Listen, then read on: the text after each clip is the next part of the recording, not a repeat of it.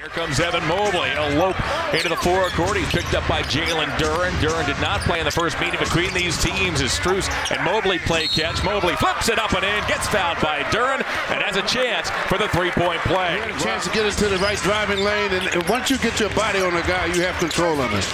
Garland slings one off to Strus. Strus, good interior pass. He'll find Allen who throws it down. Yeah, Gas play through Allen again. Strus comes and gets it. Mobley will check back into the next dead ball as Allen inside hooks over Stewart and connects. and, and what you're going to see, though, is what's happening. You, they're going to end up getting rid of probably two uh, of these guys and, and get the type of guys he wants. Strus opens himself as he twirls and scores. Max Strus. Cavaliers doing a good job. Nice pass inside. Strus. Nice breaks there. They're able to lay it back in. Strus opens up and hits. If you think about it, it's the first one he's hit like that.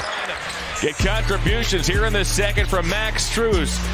Strus finds Mitchell. 4.15 to go in the half. Mitchell shakes, lasers one over to Okoro. Back to Strus. Hey, knocks it down. From distance, bombs away.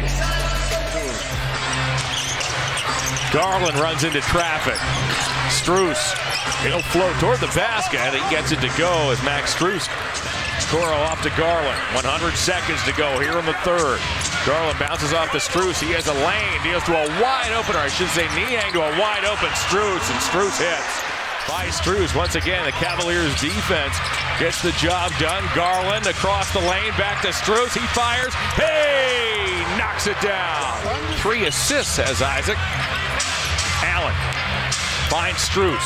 Strus to the foul line, stops, fires, and scores. Another pass to Allen, nearly picked off.